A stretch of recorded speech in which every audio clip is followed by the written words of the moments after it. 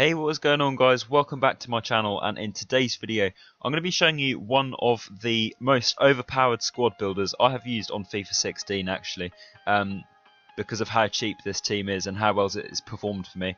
Um, as you can see it costs only 25k on Xbox One and I think it's about 10k more on PS4 so not too much more but this team is absolutely insane guys one of the best teams I've used um, for this for this amount of coins basically. Um, I'll run you through the team. So as you can see, um, it's like a mixture between a French league, uh, a Liga BBVA, and a Serie A hybrid. So as you can see in goal, we've got Sirigu. Um, he's basically just your standard goalkeeper. You know, he's decent. He hasn't really done anything too amazing for me, but you know, he's pretty solid in goal. Um, and then as for my centre backs, David Luiz and Marquinhos, really good, solid centre backs. Um, they feel a lot better than their stats suggest. Um, as you can see, they're pretty quick players. Uh, David Luiz with 73 pace and Marquinhos with 73 pace as well. Um, they've also got very similar stats actually, uh, very similar defending stats and physical stats. Um, and David Luiz has also got decent passing as well, which is useful for a centre back. So yeah, overall really solid defenders. Um, really cheap players as well. You know, definitely ones you should put in your team for this amount of coins. As you can see, it's 25k this team, so you know they're very cheap players, but very overpowered and good. As you can see, right back I've gone with Lichtsteiner and left back Marcelo. Again, really good players. They're very similar, um, just because you know they all they both have really good all-rounded stats, uh, really good defending and physical stats, and good passing stats as well. And they've also got good pace as well, and they feel pretty good on the ball, to be honest, in my opinion. Uh, really good going forward as well. Uh, they do like to get forward, as you can see, because they have that high attacking work rate. But if you put like a player instruction, like stay back while attacking on them, then they'll keep the defence very solid. As you can see for the centre mids, I have two very overpowered players. Uh, one of my best defensive like midfield players in the game this year. Really good this guy, you know, he'll win everything in the air. As you can see, his defending stats are probably even better than our centre backs with that 82 defending and 87 physical absolutely be an absolute beast. This guy, you know, he's going to win everything in the middle, um, everything in the air. Basically, you know, just really solid centre midfield, central midfielder. Um, definitely a player you should put in your team for his price. Same with Guarin, as you can see, really good all-rounded stats. He's also got 88 physical, so he's an absolute beast. He'll push anyone off the ball. Um, really good at winning the ball back, and he's also good going forward as well. He's got a got a really good long shot. Um, he's also pretty quick on the ball, which is which is very useful. And then as for one of my favourite attacking midfielders in the game, we've got James Rodriguez. This guy is an absolute beast. You know, his all-round stats are insane. Um, he's got 86 shooting, so his long shots are crazy.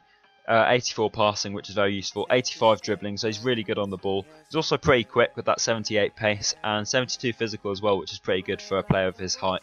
Absolute beast in cam, and I think he's one of the most expensive players in the team, um, but definitely a player you should try and pick up if you have the coins. As for my right wing and left winger, I have got Cuadrado and Konoplyanka, really, really fast players. Um, as you can see, Konoplyanka with 92 pace and Cuadrado with 93 pace. Really good players as well. You know, their finishing is great. Um, their passing is great. They've just got great all-round stats, you know, for wingers.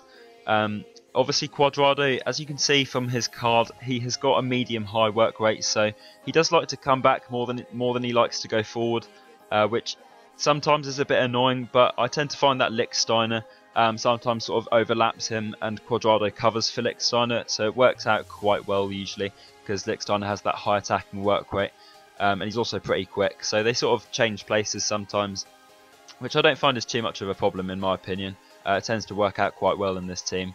And then as for Konoplyanka, as you can see, you know he's an absolute beast as well. Great all-round stats, and he's basically just gonna he's gonna latch onto any three balls that you put through to this guy. Then as for my striker, the ab, the, the, the beast himself, you know, Jackson Martinez. If you haven't used this guy on FIFA 16, definitely go and try him out. He's a bit like a Diego Costa type player. Um, feels very similar to him. I really like Diego Costa's card this year as well. Um, but as you can see, Martinez, he's got 81 pace, so he's not the fastest of players, but he makes up for that with his physical stats. Uh, 85 physical. He's going to hold everyone off the ball basically. Um, and then he's got that 82 shooting. This guy's finishing is really, really good. Um, and he also feels pretty decent on the ball as well. He's not the fastest of players, as I said, but when he's when he's like six foot uh, three, I think, or six foot four, this guy, um, he's going to win all the flick-ons to the wingers. Um, and his passing actually feels pretty decent as well, even though it says it's 67. Um, I always find he's pretty good at sort of putting through balls to the to Cuadrado and Konoplyanka. Um, they're the players that sort of latch off of this guy. and um, finish the one off with the one on ones and stuff like that when you put them through on goal. And then if you want to play sort of like with crosses and stuff, that also works very well because obviously Martinez is a very tall player, so he's going to win a lot of headers basically. So yeah, really good all-rounded striker. You know, good for holding up the ball. Pretty decent for getting in behind, although I'd probably prefer to play this guy as like a target man, um, in my opinion. But yeah, that's the team, guys. Remember to leave a like if you enjoyed and subscribe if you're new around here. And um, if you haven't seen already, I'm doing a 50k giveaway on my channel. Uh, just check out the video, my last video, basically, and I'll tell you like all what what to do. And basically, um, you, you just have to leave a like and comment and be subscribed, and you can be entered into the giveaway, basically. So yeah, that's today's video. As I said, leave a like, subscribe, and I will see you in the next video.